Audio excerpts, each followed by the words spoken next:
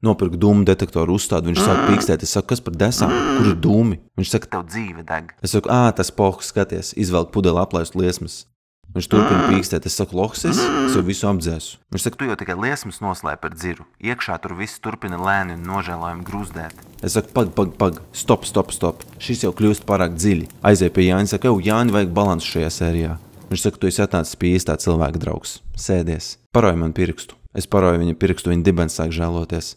Agrāk viss bija daudz labāk. O, labs, tu man. Pasaulē dirsā. Tagad jau viss tikai ekrānos tik skatās. Dabūsiet visi nodegs, viss izskatīs, tūlīt viss Un tā nesprāgsiet. Pētera un Jāņa dibenu jaunais gads beidzās ar moto: bija labāk, ir slikti, būs slikti. Un kā beidzās tavējais? Slikti,